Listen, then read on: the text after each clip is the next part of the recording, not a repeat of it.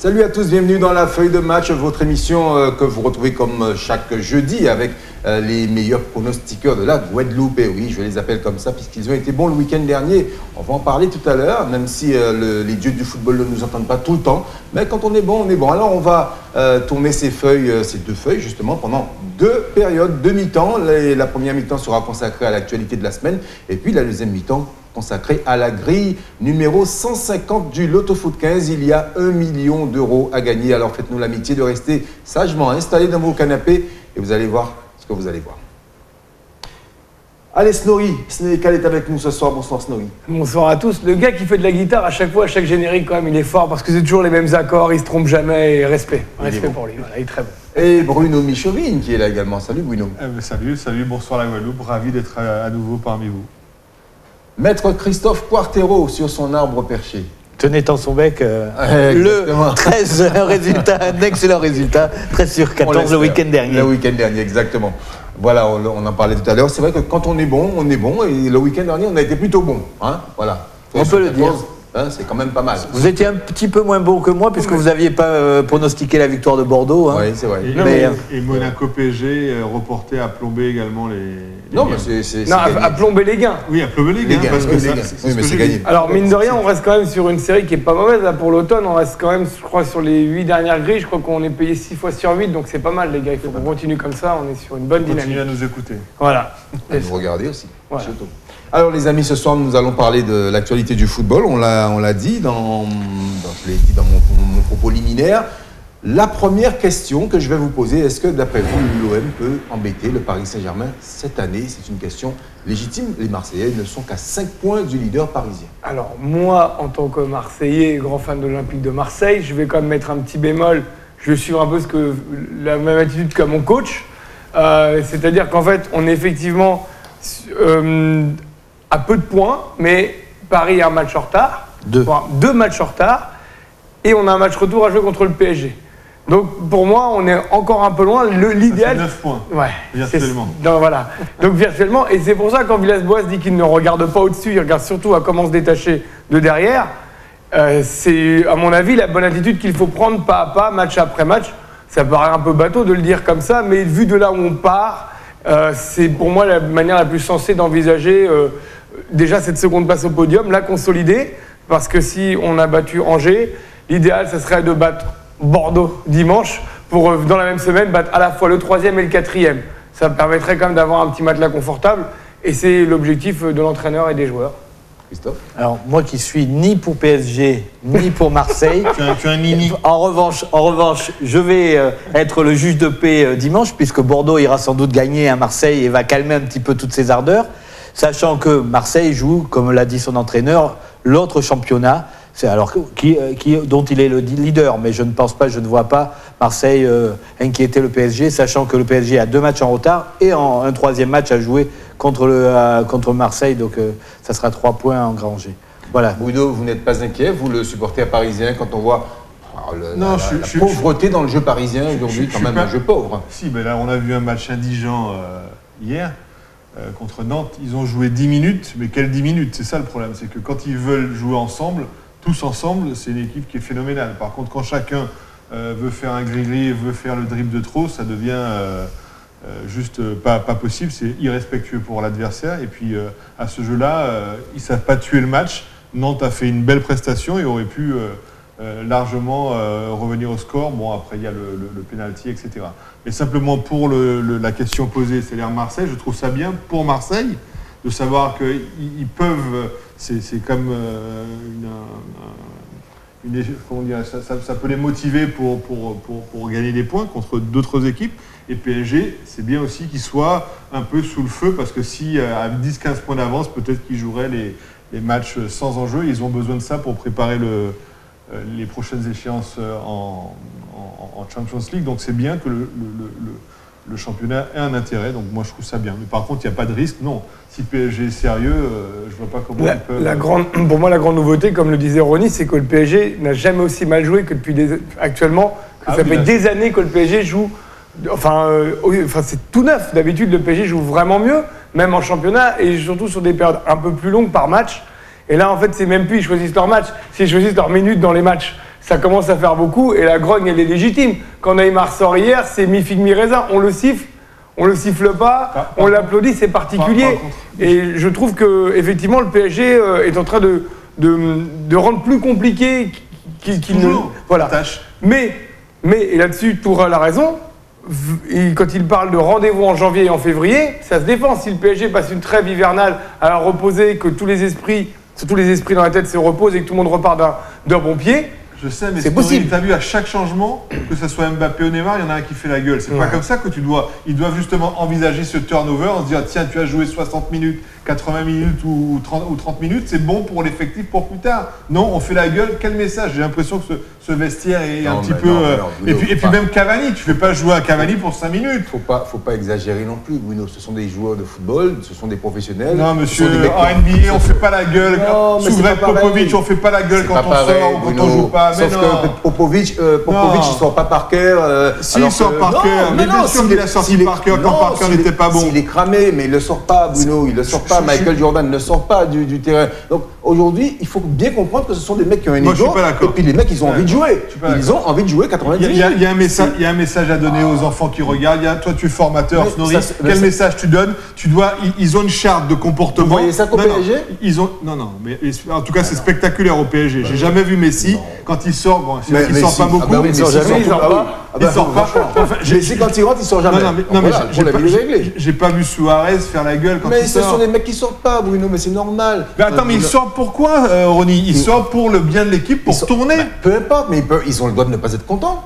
Mais, mais pas de Non, me montrer comme ça. Il y a des gros plans sur le, banc qui me, qui me, en tant que même supporter du PSG, qui me, qui me, qui, qui ne me font pas plaisir. Il y a, il y a un, tu peux sortir. Tu, vu ce qu'ils prennent par, par, par, par, par mois comme oseille, faut arrêter. Mais faut, faut avoir un, petit peu de respect pour le balayeur de rue. Quoi. Merde. Bruno, Bruno, il faut aussi à un moment donné savoir raison garder et se pas dire que ce sont des êtres humains, comme tout le monde, comme nous tous. Bah oui, ils ont de l'argent, très bien, mais ce sont des êtres humains. Ils ont aussi leur côté, ils ont leur orgueil. Et quand. Bah, tu aurais apprécié, toi, qu'on te sorte de match euh, Non, t'es jamais bah, content bah, de t'es sortir, pas de content, Bruno, façon, mais c'est normal. C'est normal. Ce sont, euh, Ah, ah, moi, c'est le c'est- contraire qui m'aurait étonné. Voilà, c'est ce que j'allais Ah, te mais dire, que Ça, vos trucs, je, je, je Non, n'achète mais pas. je suis pas d'accord. Mais, mais attends, mais tu, mais, mais En tu fait- peux sortir. Mais quoi Mais c'est un groupe. Ouais, a- Neymar, il peut pas jouer tout seul. En fait, il y a quelque chose. le- Euh, Attends, le- mais le- non, je suis d'accord avec toi, Bruno. Il a même pas Le 20 body language- agit comme ça, ça va être quoi dans Bruno, 5 ans Bruno a raison. Le body Non. language est mauvais. C'est-à-dire que même si t'es pas content de sortir, tu dois pas traîner autant à sortir, rentrer directement au vestiaire. Ça c'est tout ton Tu fais la gueule, tu fais la gueule, tu t'assois, t'es pas content. Mais c'est vrai que là, c'est peut-être un peu lâcher les copains. Et il faut pas que le PSG ou- ou- oublie, n'oublie pas que avec la manière, tu as plus de chances d'aller loin. Tiens, que- alors, tu me parles de grands joueurs, je n'ai pas vu ça à Liverpool. J'ai vu des grands joueurs de Liverpool sortir pour le bien de l'équipe sous Klopp et je vois personne faire la gueule. Je vois des gens qui comprennent que si je te sors là, c'est parce que je vais, tu- je te donne Klopp- tant de minutes Klopp que tu vas pas- Klopp récupérer n'a pas de joueurs de la trempe de Mbappé et de Neymar. Et ce sont des joueurs qui aujourd'hui sont Et, et Mané, c'est qui vous êtes- Mané- Quand il sort Mané, Mané Mbappé est meilleur que Neymar que, Mais- que- mais que Mané Mané a terminé à quelle place au Ballon d'Or? Mais justement, on va en parler, c'est honteux. C'est honteux. répondez à la question. Quatrième, mais c'est honteux.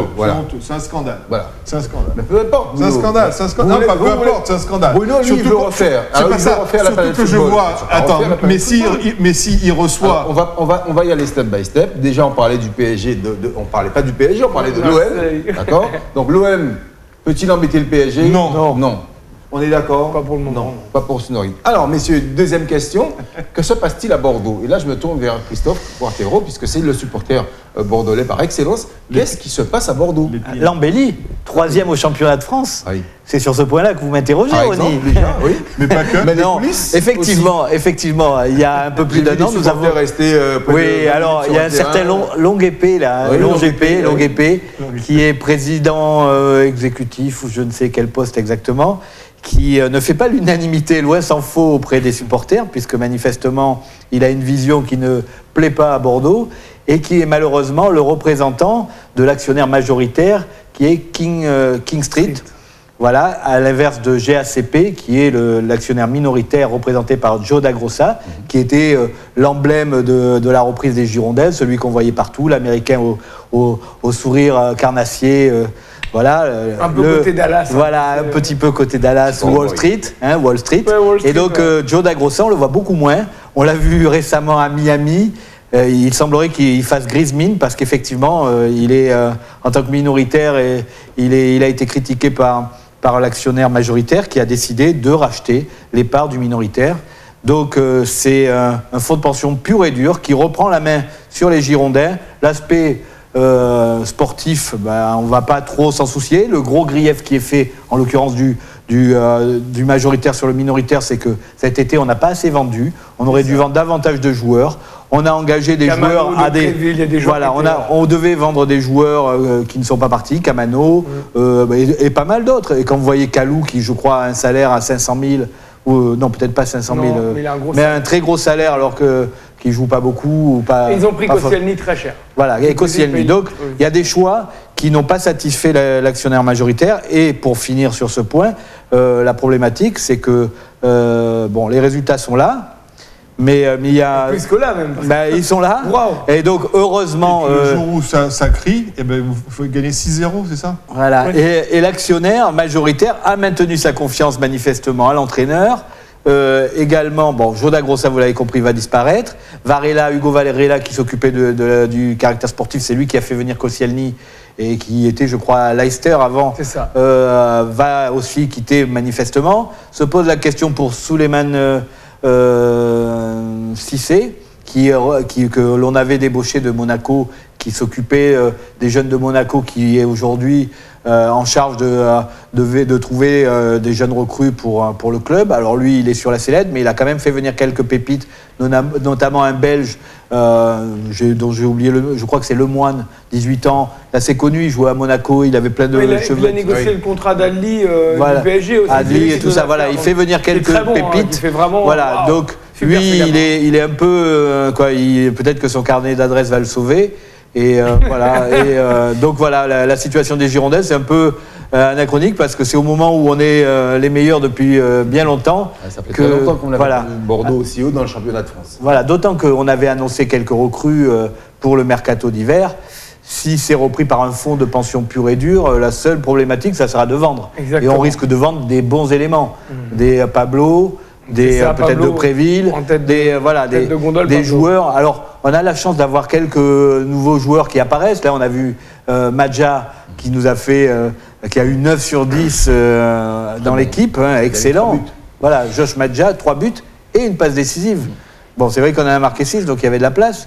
Mais, euh, mais bon, voilà, dire qu'il y, a quand même, il y a quand même un espoir d'un côté, mais je crains fort que euh, l'ambiance soit plombée du fait de, de ces changements au niveau de la direction. Puis il faut voir les supporters aussi. Voilà, et les supporters, mais je- j'ose même, j'en suis à un stade où je pense que je serais presque soulagé de voir que le majoritaire décide de lui vendre l'ensemble du club plutôt que de voir un fonds de pension pur et dur qui n'aura que de soucis, que de soucis de vendre des Oh, joueurs. du trading. Les Voilà, fonds de pension, trading. ça n'a pas marché au PSG. Un colonie Mais non. capital, c'était zéro. Voilà. Ça ne marche pas souvent. C'est- C'est tellement antinomique avec le principe du foot où tu peux faire effectivement une super bascule sur des joueurs, mais tu ne gères pas un club de foot comme une entreprise. Tout le monde le sait. Euh, euh, il est difficile euh, de- d'investir et d'être sûr de retomber euh, sur ses pattes. Et actuellement, on est sur un cas où, en plus, euh, il semblerait que l'actionnaire minoritaire avait en plus demandé une rallonge de fric cet été pour maintenir les objectifs prévus.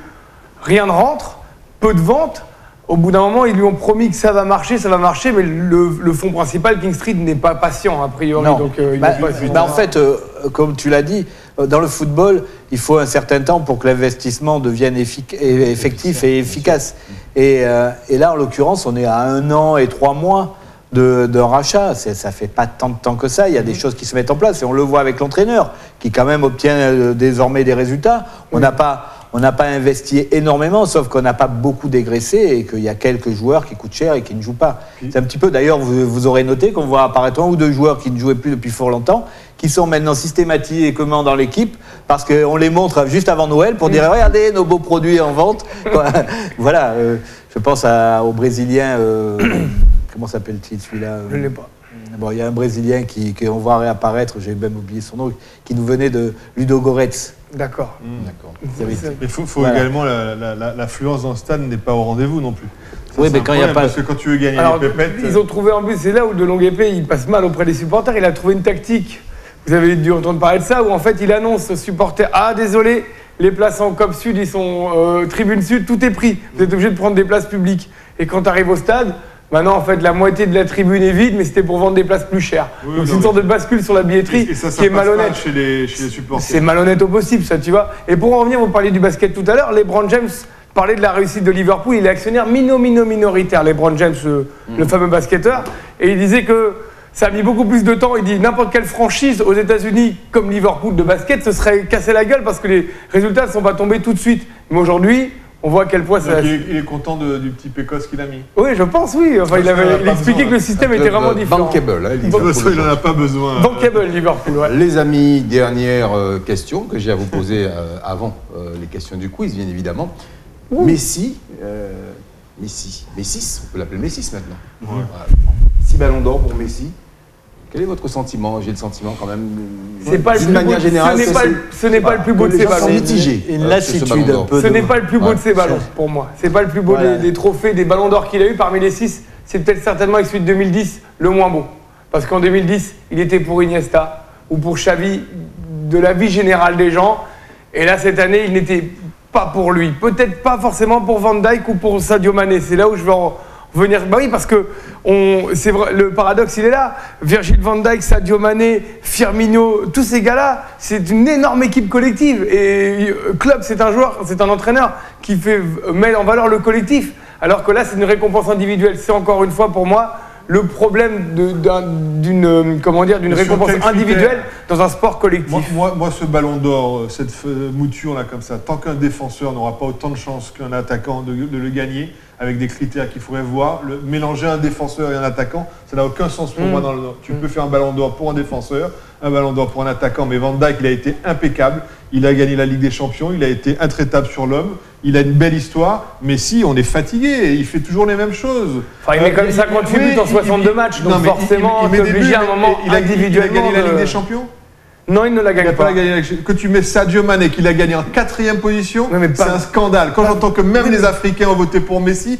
ça, me- ça me dégoûte encore Non, mais plus. Pavel Nedved, Pavel Nedved avec la Juve n'a pas gagné la, la Champions League l'année où il le gagne. Il est en demi-finale. Et pourtant, il a le ballon d'or. Et ça a surpris Ah, personne que Pavel Nedved l'ait. Ouais, Euh, c'est la problématique de l'équipe de France. Regarde, euh, quand tu as trop de bons éléments, en fait, il n'y en a pas un qui ressort et qui fait que les votes se dispersent sur plusieurs joueurs du même club. L'équipe de France a été la même chose. Il y avait beaucoup de euh, joueurs qui pouvaient éventuellement revendiquer, sauf que les voix se sont réparties entre les différents joueurs français, Oui, oui, mais- qui fait qu'il y avait Ouais, le, tri- oui, le trident. Pogba, Griezmann, euh, Ouais. Mbappé, c'est- ça mais- s'est joué non, mais sur. Sadio Mané en quatrième position, il faut quand même arrêter. Quoi. Ce sont les joueurs qui votent. Non, non, il y a les entraîneurs, mais, il y a- non, mais après, euh, les joueurs qui votent, bon, on ne peut pas m'empêcher de penser. Alors, pendant la cérémonie, donc il y a une petite vidéo où on, on fait asseoir Messi sur son trône en train de regarder. Qu'est-ce qu'on voit? Il pose déjà avec les six ballons d'or, donc ça a été tourné. Il n'y a aucune. euh, donc tout le monde. mais ça, non, le savent en mais, amont. mais pourquoi ils le savent en amont? C'est- bah, Attends, mais attends. Bruno, et quoi, les Oscars, tu- c'est pareil. Non, les mais- mecs, non, ils mais- savent mais- très bien donc, avec leur je- discours, j'ai déjà gagné donc, quand même. donc, je n'y tu vois crois le pas. mec arriver, Messi, avec, tous ses, avec ses enfants, sa femme, tu sais qu'il va. Eh ben, eh ben, je n'y crois pas. Voilà. Et, ça- Mbappé, et il était avec et- sa et je famille te promets, je ne veux plus regarder le ballon d'or parce que ça me dégoûte. C'est-à-dire que c'est du micmac qui est déjà arrangé. Il arrive, donc le sourire de façade qu'il fait, il le connaît déjà. Elle est où l'émotion Quand- quand-. Attends, quand Drogba t'annonce que t'es ballon d'or et que tu le sais déjà et qu'il fait style, euh, il est heureux, c'est fake ça. Tout est fake maintenant. non. Ballon d'or, voilà. Vous avez euh, Monsieur Bruno, euh, le vrai, euh, Bruno Michauvin, qui n'aime pas les fakes. On, euh, on sait que, perso, je pense que c'est une mascarade cette histoire de Ballon d'Or. Pour moi, quand Modric a eu le Ballon d'Or l'année dernière, euh, je veux dire, je suis désolé. Si on dit qu'aujourd'hui que la, la Ligue des Champions est au-dessus de la Coupe du Monde, alors j'ai rien compris au. Ouais, C'est-à-dire c'est le trophée ultime que tout le monde rêve de gagner, c'est Une quand fois même- tous les quatre Alors, ans. ils ont donné à Mbappé le, D'accord. le- le titre pour le meilleur euh, Désolé. jeune Ouais. pour avoir la conscience tranquille. Mais c'est vraiment Modric ne méritait pas. Finalement, je suis d'accord. Et puis tu peux pas donner le ballon d'or à Modric en disant que oui, il est arrivé en demi-finale de la, de la, de la- non, il a, Finale, il a en perdu en finale. finale de la Coupe du Monde et qu'il a gagné la, la Ligue des Champions, alors que dans ce- le même club que lui, il y a Varane qui a gagné la finale. De- les deux, Los les- Dos. Les deux finales. Et tu lui donnes Mais pas. qui est défenseur Finalement, problème. celui qui a eu le ballon d'or et qui le méritait et qui aurait dû avoir le vrai ballon d'or, c'est le goal. C'est Alisson Becker Alisson. qui lui Ah bah gagne oui. la Copa América et c'est quasiment lui qui la gagne à lui tout seul, dans les- tout en arrêtant 3 ou 4 pénaux par séance Mais- et le- qui en plus gagne la Champions League et qui les sauve parce que dans les matchs contre le PSG, je le rappelle en poule l'année dernière, il fait des parades extraordinaires le bouc donc euh, voilà. Mais, il, d'accord. mais il gagne le trophée. euh, Oui, mais c'est pas. Non, mais le voilà. coffret la Viachi, Ah. justement, c'est, ça. ça appuie juste sur ce que tu es en train de dire. Vu qu'on n'est pas foutu d'être honnête avec soi-même et d'arriver C'est-à-dire à mettre. Un joueur de football, quel qu'il soit, Soit. gardien, foot, euh, Mais milieu sur quels terrain, critères euh, Toi, tu me parles de but. Non, mais attaquant c'est- peut être non, mais ballon d'or. C'est pas ça, mais c'est que nous-mêmes, regarde, Snorri, quand j'ai- je suis allé au scandale pour Sadio Mané, tu me dis qu'il a, il a marqué plus de 60 buts Messi. Donc ça veut dire que c'est ce que tu relèves. Non, non, non, non, Si. non, non, c'est- je te sors les arguments que j'ai vus pour défendre le fameux sixième ballon d'or de Messi. Et les arguments contre Mané, c'est il a raté sa finale de la Cannes. Et vu que Riyad Mahrez a réussi sa finale de la Cannes, Riyad Mahrez est dixième joueur mondial.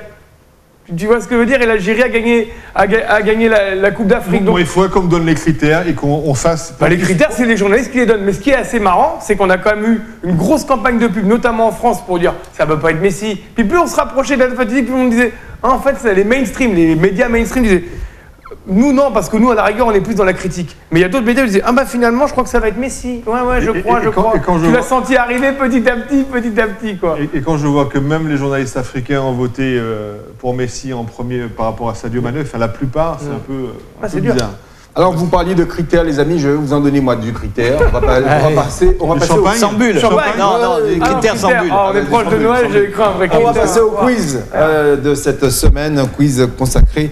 Il y a déjà une première partie qui est le. C'est qui il a dit Mhm. Une deuxième partie consacrée au match entre Marseille et Bordeaux. Ah. Bon, je pense que Snorri et euh, euh, Christophe, vous êtes incollables sur ces deux formations. C'est qui? Il a dit, messieurs, moi aussi, j'ai beaucoup appris, ce qui fait de moi un meilleur coach aujourd'hui. Est-ce Casanova, Pochettino ou Mourinho? Ah, Mourinho pas Mourinho. C'est Mourinho. Ah bon Le point pour Snorri. le- ça va durer deux mois. Dans deux mois, il redeviendra lui-même, t'inquiète pas. C'est qui il a dit les Françaises ont peut-être besoin de se détendre Ah, lu, ou d'être dirigées par une coach plus débridée. Je vous le dis. Est-ce Ah, Carl Liod, Carl pardon, Alex Morgan ou Megan Rapinoe? Mais gars, Rapinho. C'est rapide, ouais. Le Euh, son premier. Oui, Ah, c'est vous bon. avez dit premier, excuse-moi. Oui, c'est le, le point J'avais pour Christophe. Et, ça lui plairait certainement que les Français soient plus détendus. C'est sûr. Messieurs, c'est qui il a dit à Lyon si on n'enchaîne pas, on n'y arrivera pas? Est-ce Memphis Depay, Rudy Garcia ou Anthony Lopez?